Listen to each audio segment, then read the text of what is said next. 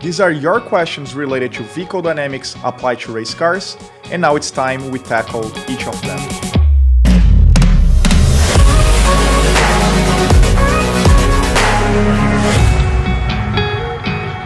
Hello everyone, this is Bruno. I'm specialist in vehicle dynamics applied to race cars, and I'm here to answer your questions. So let's go to our first question. Why does toe-in on the rear increase stability? Differently than the front axle, on the rear it's even more straightforward why more toe-in will increase stability.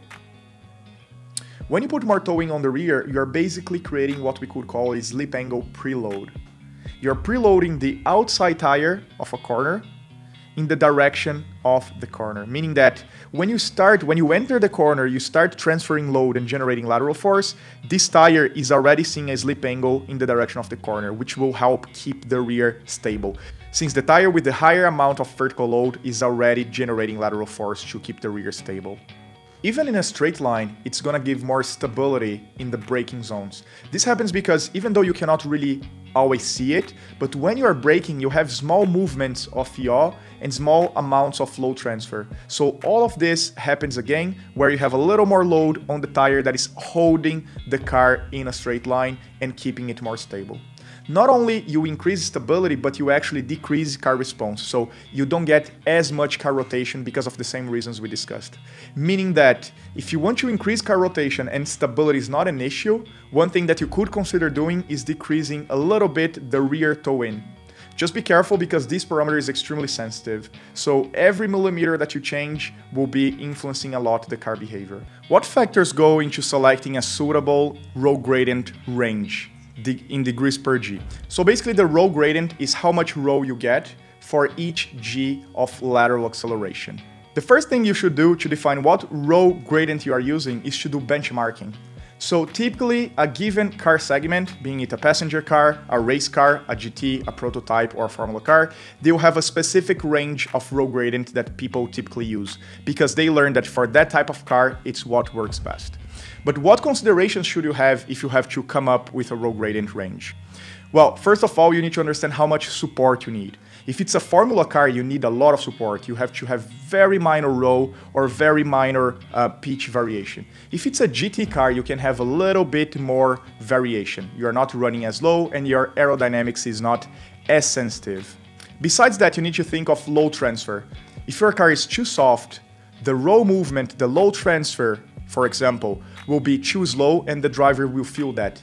He will not have confidence enough in the car because he needs to apply the steering and wait for a few seconds or tenths of a second to feel the car um, find a, a new stable position. So in that case, it means that you need a stiffer platform that reduces the roll or pitch gradients.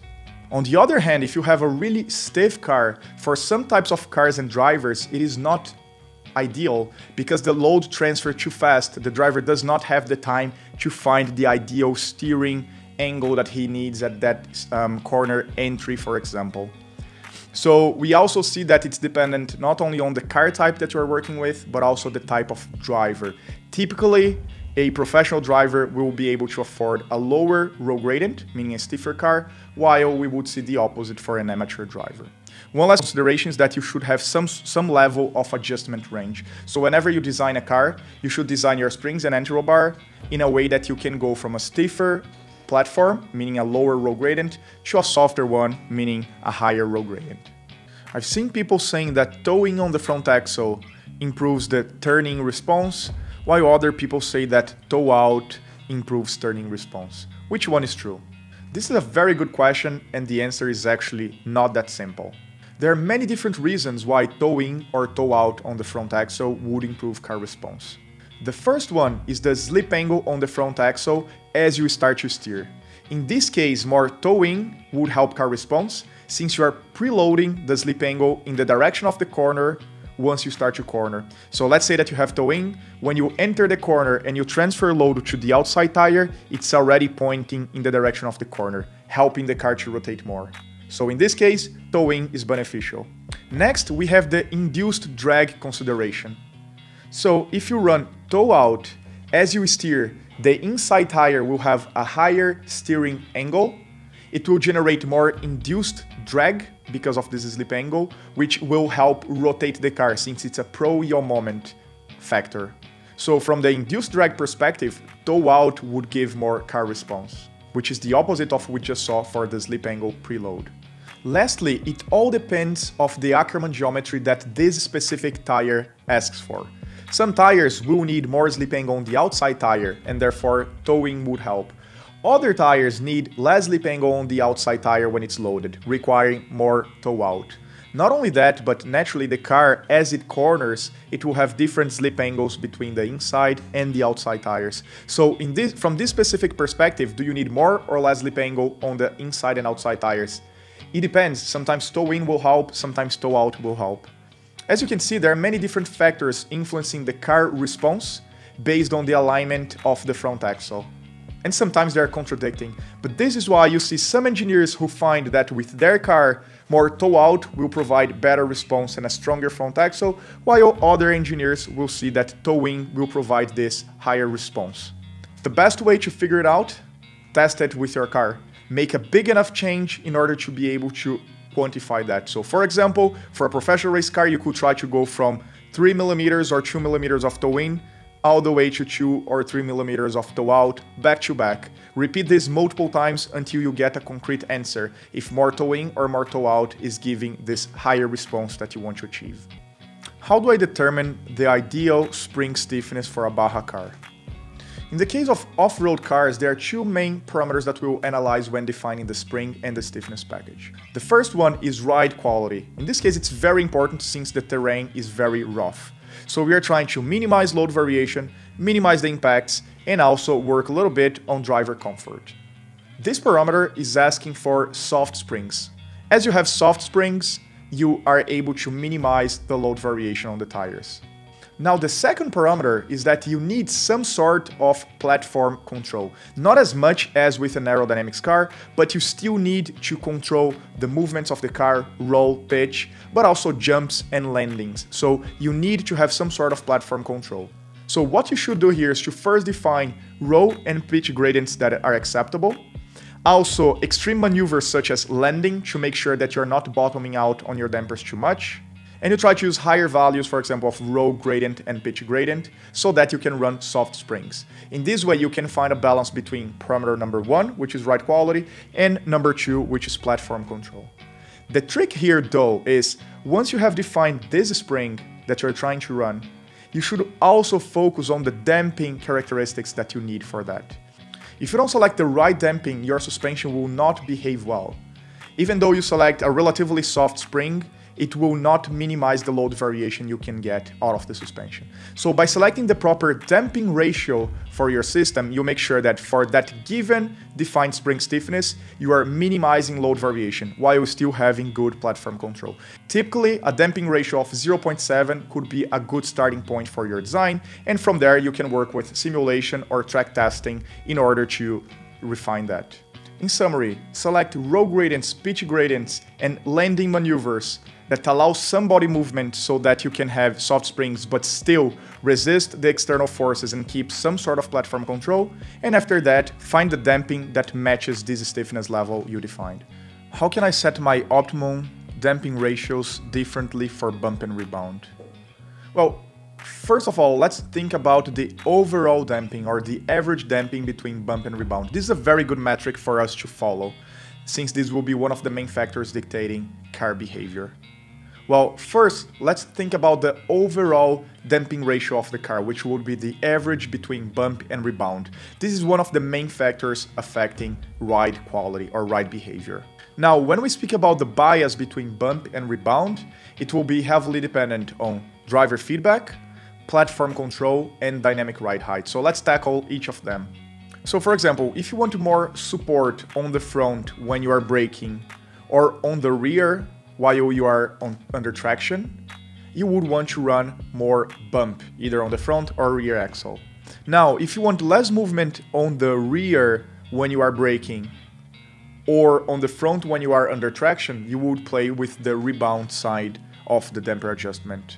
If you would like less aggressive impacts over curbs, for example, then again you would go back to the bump adjustment. So you are seeing a few examples where we would adjust only the bump or only the rebound. Once you make this adjustment, let's say that you decrease the bump in order to have a less aggressive impact over curbs.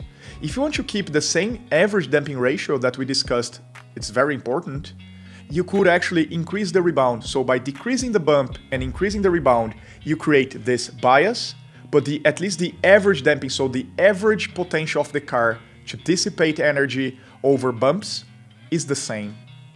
Now, one thing that you have to keep in mind when you do asymmetrical adjustments of bump and rebound is that the car will have different dynamic ride heights. So let's consider the situation where you are running a bump biased damper setup, meaning that you have a lot more damping for the bump side than for the rebound side. In that case, when you are driving over a section of the track that is very bumpy, you, your car will sit higher, you have higher dynamic ride heights. That happens because since you have a lot of bump uh, bump damping, the car cannot compress on the damper, so it cannot go lower. But you don't have a lot of damp of rebound damping, so the car can go up. So it keeps going higher and higher, and then you end up with higher dynamic ride heights. On the opposite adjustment, where you're running a rebound biased damping, your car will sit lower around the track. Again, when you are going over these oscillations, the damper can compress, meaning that the car can run lower, but it cannot extend as much. So as a consequence of that, your car will have a lower dynamic ride height. Sometimes this could be a good tool to use if you want to, for example, run lower in a specific part of the track, but also it can be harmful because since you are running higher or lower in specific parts of the track, you cannot keep as low um, ride heights as you would want. So it all depends on the goals that you have in order to define the damping bias between bump and rebound. What are the best setup changes we can make in a low speed cornering issue? Well, if it is a low speed corner, we know that aerodynamics will not have a big influence. So let's discard those changes. We'll focus on the mechanical grip, so grip coming directly from the tires or from load transfer. The first change that we should consider when we have issues in low speed cornering is the lateral load transfer distribution. So whatever axle we transfer more load will decrease the grip on that axle while improving the other one. So let's say that we have understeer. We need to decrease the load transfer on the front axle. For that, we should soften that axle. We could use softer anti-roll bars or softer springs. But the opposite is also true. We could stiffen the rear axle by using stiffer anti-roll bars or stiffer, or stiffer springs. The result is very similar, at least in terms of load transfer. Even if you have a, an issue with the front axle, if you change the stiffness of the rear axle, you will help the front, for example. Besides that, we could think of setups directly off the tire. So for example, we could change the camber Typically, more camber will give you more, more force or more grip, but it's not always true. And also we have to be careful with temperature distribution, with tire failures, um, with rules limited, regulation limitations and so on. The second parameter we should think directly from the tire perspective is the pressure. Again, by changing the pressure, if you are at the ideal pressure, it will change, or even if you put the wrong pressure or outside the ideal window, you will influence the low speed corner balance. Now, thinking of other setup changes you could make. Since it's a low speed corner, we could use, for example, a caster adjustment. If you increase the caster, you will gain more camber from steering that helps you recover the camber you lost on the outside tire. So that could be very effective for low speed corners while not affecting high speed corners. You could also think about changing the differential preload. In low speed corners, you have a lot of wheel speed difference meaning that the differential setup will also be very influential. Typically, if you increase the preload, you will get more understeer, and we have a complete video on differential preload in our performance engineering series. You can find the link to that video in the video description. Lastly, something that we have to keep in mind that is heavily influential on the car balance, not only low speed, but particularly on low speed, is driver input. So if you are braking, if you are on the throttle, depending how you apply the brakes, how you apply the throttle, you will, you will influence car behavior. Since in low speed corners you have a lot of deceleration with the braking and then traction out of the corner, that could amplify even more the influence of driving style on car balance. So don't think only about car setup, try to understand if it could also be coming from your driver. We have two videos analyzing driver inputs and how these inputs influence car balance. You can also find the link to those videos in the video description. So these were the answers to your vehicle dynamics questions applied to race cars.